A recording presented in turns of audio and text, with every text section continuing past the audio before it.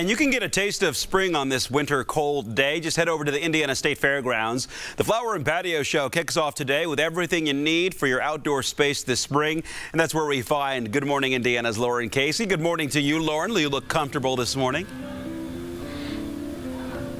Mark, so comfortable here by this nice fire. We're warming up inside now. We're inside of the West Pavilion here at the Indiana State Fairgrounds where I'm kind of making this my own little backyard oasis here. We've got the nice fire, the nice comfy couches, and of course all of the plants around me. Now, this is the first day for the Flower and Patio Show here at the State Fairgrounds, and we're in the West Pavilion right now where we have all of these plants. It basically makes you feel like spring. So if you're sick of the cold weather, grab the family. There's a little bit of everything here, something for everyone in the family to do, really make some memories here at the Flower and Patio Show. I want to take you over here to Bill Brown. He's the landscape coordinator for this whole show. Good morning, Bill. Thanks for joining How are us. You? I'm great. And talk to us a little bit about what's unique about the show this year and kind of what's the whole theme. Well, the theme is old, new, borrowed blue. So you got a little wedding vibe going on there, but it also is easy enough for, for my landscape guys to do something old, something refurbished, something new, which is showing new trends in landscaping uh, borrowed, you know, some art,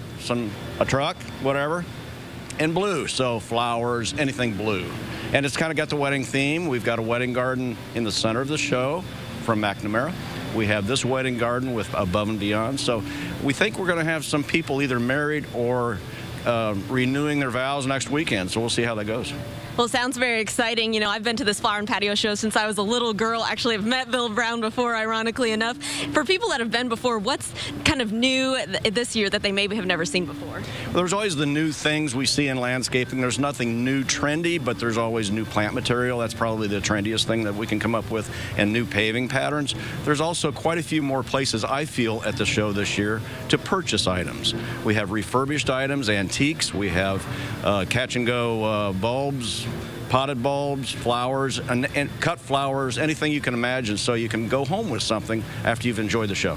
Well, Bill, thanks for talking with us today. Again, it's pretty quiet here right now, and that's because the show isn't open yet. It all opens up at 10 o'clock this morning. It'll run until 9 o'clock tonight, and then reopen again tomorrow and run all the way through next Sunday. You can get $2 off your tickets if you purchase them online. We'll be here for the next hour or so, keeping you updated, so stay tuned to Good Morning Indiana. For now, reporting live from the State Fairgrounds, Lauren Casey, RTV6. All right, back to Huddle by the Fire there, Lauren. Thank you. It seems